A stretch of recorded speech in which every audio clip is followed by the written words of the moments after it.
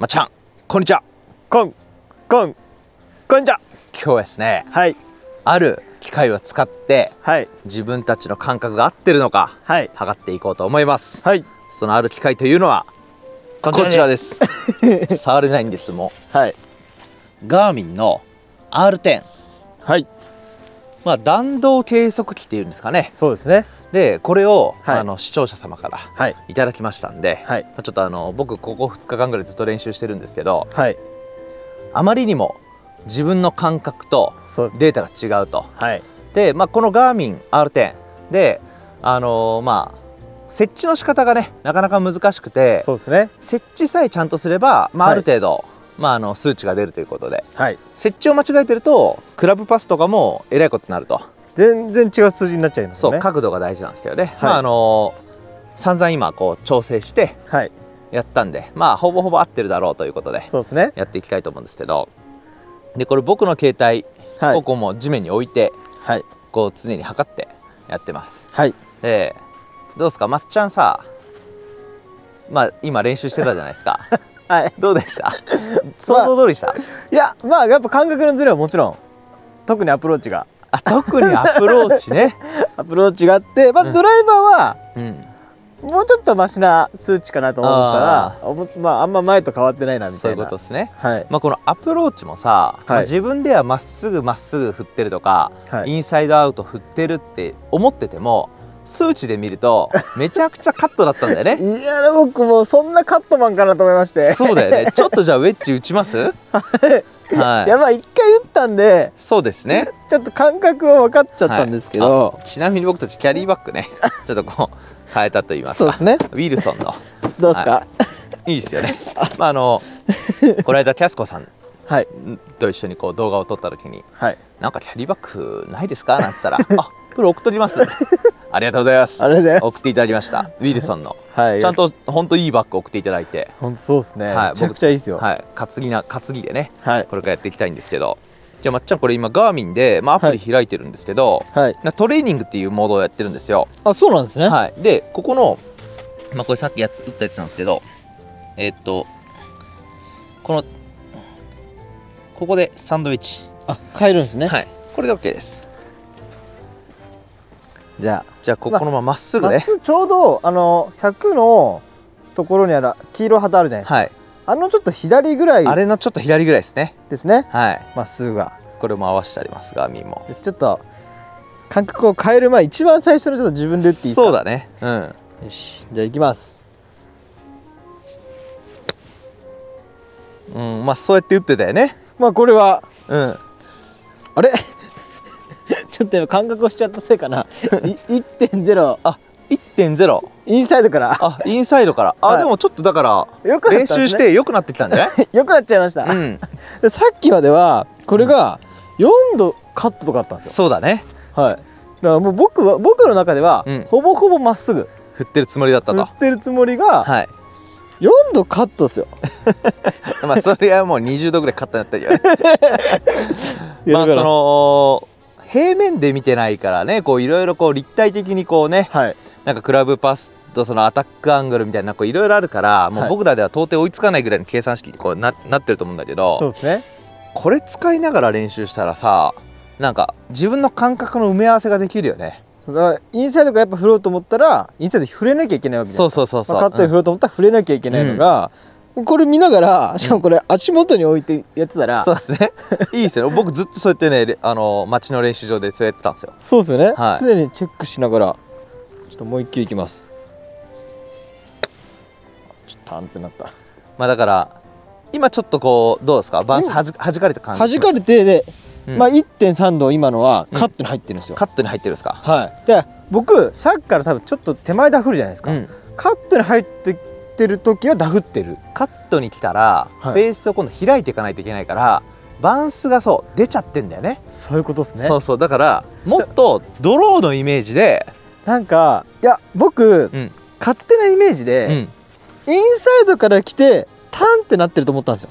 あインサイドから来て弾かれてると思ったんだなんか最近素振りさすごいカットの素振りしてたもんね。ら だから、うん。あじゃあもっとカットに打たないとうん。いけないのかなと思って、カットに打てば打つほど手前がダフってるっていうのが今そういうわかりました。ことねはい。ちょっとじゃあインサイドからはい。手元低くしたドローだよねイメージね。こういうことですね。そうそうそうそうそう。そうそうやって打てば多分バウンス弾かれないと思うんですよね。よしじゃあちょっと行きますああそういうこと。今のは2.1度インサイドから、2.1のインサイド。あでもインサイドが入れると思ったんで。そうだね。この感覚がそうですね。だから僕はインサイドから来て、うん。手前入ってると思ってたのが、うん。まさかのカットから来て 手前に入ってるから 一生治んないんですよ。一生治んないですよ。これすごいですね。ちょっと変わってもらっていいですか？僕今日58度持ってきてないんではい。58度借りて。これなんかもう本当に恥ずかしい自分が。恥ずかしいよね。僕もこれまあ普通に。こんだけ練習してきて。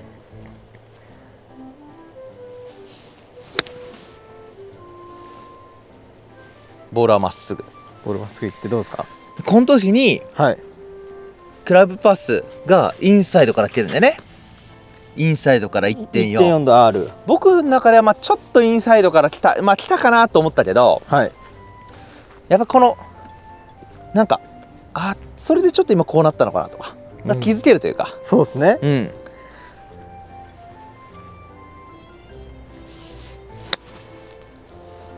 こうちょっと。ちょっと左行ったからもしかしたらフェースはかぶってたか。スペースが。あ今のはでもあもしかしたら誤差かもしれないですけど。はい。クラブパスがすごい。カットに7度。お7度？7度のフェースが0.2開いてるぐらいだからあでもだから左飛んだで、左飛んでるっていう。あまあまあああ合ってるのかもしれないね。そうですね。そうこの感覚をさこう常になんかまあよくさこういうの使って、まあ、僕らもそうだったんですけどはい。飛距離とかスピン量とかばっかり見てるんですよ。そうですね。でこのどうなってるかって原因を突き止めなかったんですけどはい。このアタックアングルとかあでも今アタックアングルが9.2度になってるからプラス。ちょっと誤差かもしれないね。そうですね。うん、だからそういうのもああ誤差もあると思うんですけどこういうのを見ながら練習？はい。たらちょっと低めに強くなんて思ったら。これは最高ですね。うん。これ今アタックアングルはマイナス4.9度。おでクラブパス1.2度インサイド。フェースはほぼまっすぐみたいな。あでもまあそういう感じでしたもんね。強めのね。おいや強めのカットとかさ。強めのカットおーカットしてる。カットしてスピンこれはでね7度カットですよ。7度カット。7度カットでフェースは、まあ、ちょっとこう閉じてんだよね。はい。2度閉じててだからこういう。おーそうそういう球でしたもんね。そうそうそうそうそうそう。そうなんですよ。はあこれ。がね、はい。すごい。でちょっとえーっと8番アイアンあるんではい。これ、ね、アイアンもねすごい練習になるよくアイアン最近アイアンもちょっと良くないんでうん。もうアイアンの数値を世に出したくない。で僕だけ。はい。あ和子さんだけねで。8番アイアンはい。8番自分がどこから入ってるか分かる。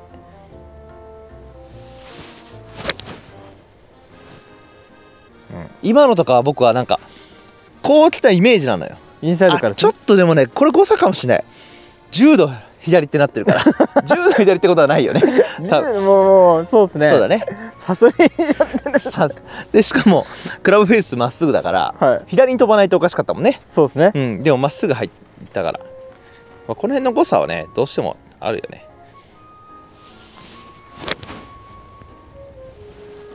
いい感じですね。うん。ああでもやっぱりとはい。カットなんですよ。カットなんですね。クラブパス6.5度カット。でフェースがまあちょっと開いてたから、ああそういうことですね。右に出てまあでもカットなのは、うん。まあいつもですもんね。いつも。だからやっぱり数値としては合ってるというかそうそうそうなんか和子さんはまあだからいつもアイアンは自分でもカットだってやっぱりそうだね。出ましたしダウンブローがうん。結構強くくるんでまあ数字的には合ってるですね。これを自分のイメージとちょっとトップしちゃったけどあー今のとかまあでもすごいインサイドから振ったつもりなんだけどはい。10度って出てるね。だからインだからインサイドにうん。なってないってことですね、もっとインサイドからやってみようか極端にね、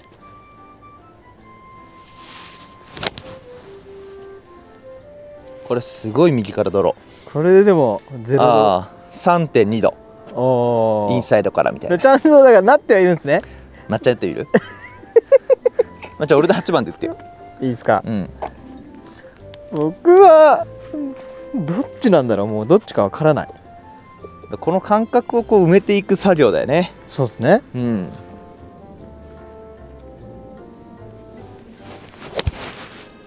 いい球。これどう？まっすぐ？インこれはサイド？いやインサイドじゃないですか。これで？あ0.8度うん。カット。0.8度カットなんだあれで。お僕インサイドと思ってましたよだからもうここでずれてるんですよね。そうだね。だから言ったら調子が悪い時に直せなくなりますもんまあね、確かにね、はい。まあそこでずれてるのか、はい。この機械の設置の仕方が悪いのか。ああ、まあそそうねそれもあるから。ああ確かに。完璧じゃないけどはい。まあでもでもまあ僕はほぼほぼうん。まっすぐから来たイメージだったよね今ね。そう。まあ確かに球の感じはそうでしたよね、うん。これ最高の数値出てますね 1.7だダウンブローに来て。あれ？そういうことか。あ若干左。うんまあこれもさこれはうん。1.8度カットに。カットになってな。でもちょっとカットになってきたんだね。で4.8度うん。ダウンブローです、あーまあそんなことはあでもトップしてるからはいちょっと上から来ちゃってトップしてるのかねもしかしたら。逆にだからアイアンが最近悪いのは、うん、自分が思ってるよりもカットでダウンブローにななりすぎちゃってるってことですか？ああかもしれないですね。うん。だからもうちょっとインサイドから来るイメージを持った方がうん。いいってことですね、そうするとトップする。まだあとは はい。ここである程度このガーミンで修正してそうですね。あと紙屋のところに行って、はい。GC クワットで測ってもらうと。あの GC クワットレンタルないですかね？神谷さんから。紙屋から。はい。本当だよね。ちょっと1週間借りていいですか？っあて。ちょっとドライバー打つ。ドライバー打ちましょうか。ドライバーセッティングして。僕は昨日からまあドライバーの練習を結構しててはい。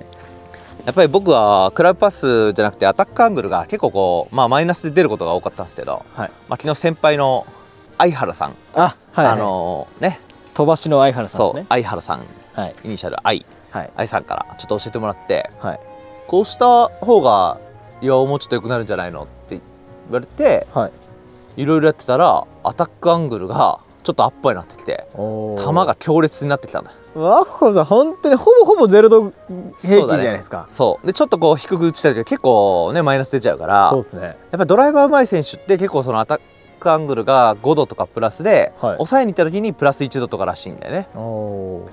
だからまあちょっとそれでいろいろやってるんですけど。え8度アッパーは良くないですか？8度アッパーでちょっと打ってみようよ。ドライバーにセッティングした？ドライバーセッティングしました、よしじゃあい。つも通りとりあえずいきますよ。も通りはいお願いします。いつも通りですよ。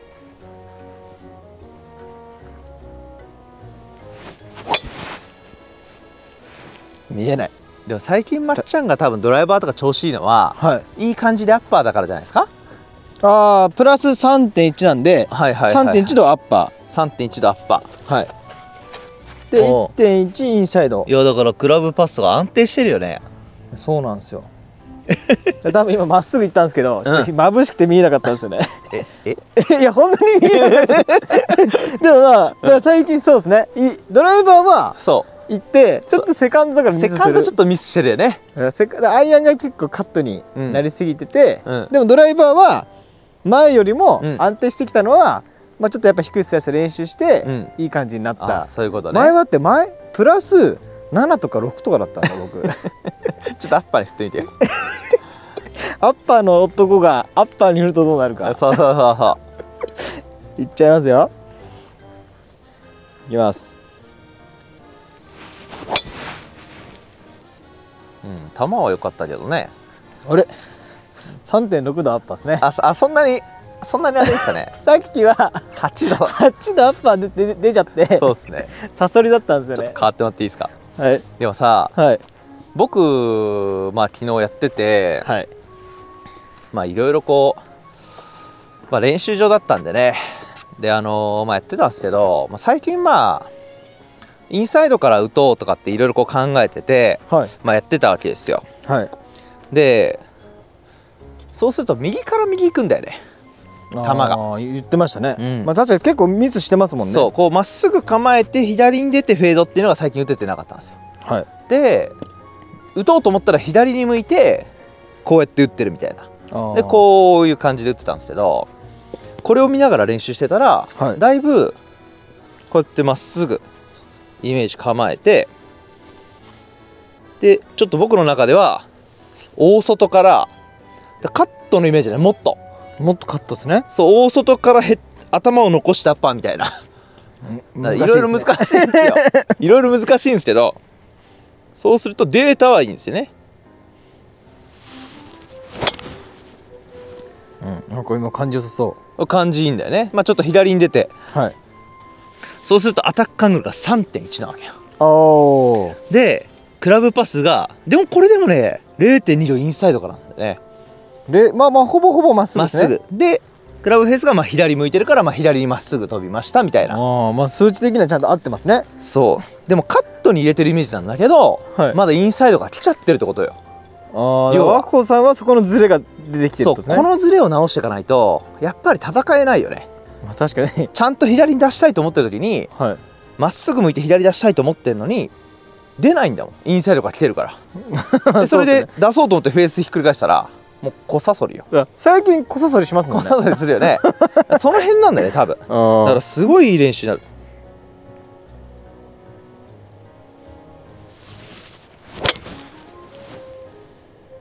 今のとかインサイドから来てんだよね。あ0.2インサイド。ーそれを逆にカットにしたいですね。そうそう外からそう。そうで外からっつってただこうじゃこのこのこのクラパスがマイナスになっちゃうマイナス10度になるんでそれが嫌だからさ。そうですね。うん。距離的にはこうちょっとインサイドから来てるんで飛ぶんですけど。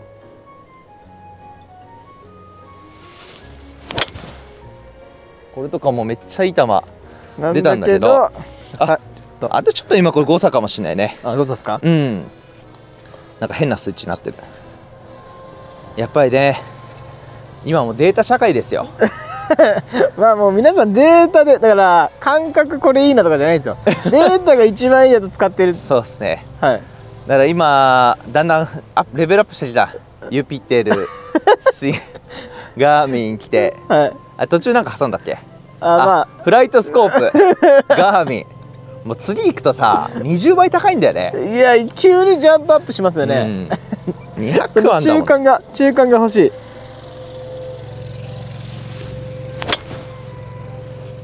俺とかもう強烈いい球なのよ。あでもこれはいい感じですか？クラブパス2.7度。外から来てやっぱり良かったよ。アタックアングル。そうですね。プラス4度で。そういうことですね。うん。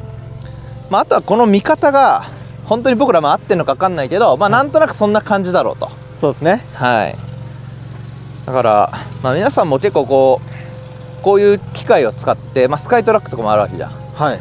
使って飛距離とかばっスピン量見がちだけど自分がどう振ってるかをもっと。ここでそうですね。うん。うん確かに。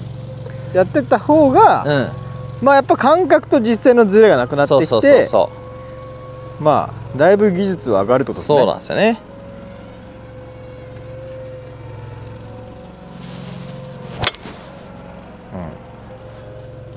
うん。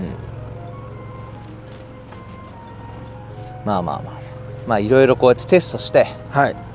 まあねこのガーミンも完璧ではないと思うけど。そうですね。まあでもいろいろ使いようがあると思うんで。はい、まあなかなかちょっと買うには高いですよ。ドライバー1本分ぐらいするからね。そうですね。うん。まあ、機会があれば試してみてほしいなと思います。はい。ちなみにあのガーミンすねいただいた 案件じゃないですかね。いやなんかいただいた完全に案件みたいな感じ視聴者さんからいただいたんだいやそうですね。ガーミンさんからいただいたいただいたんじゃないんだだけどすごい良かった。すね。れすごいれ感覚の練習になったんで。はいまあその辺ね試してほしいなと思います、そんな感じで終わりにしたいと思います。ご視聴ありがとうございました。ありがとうございました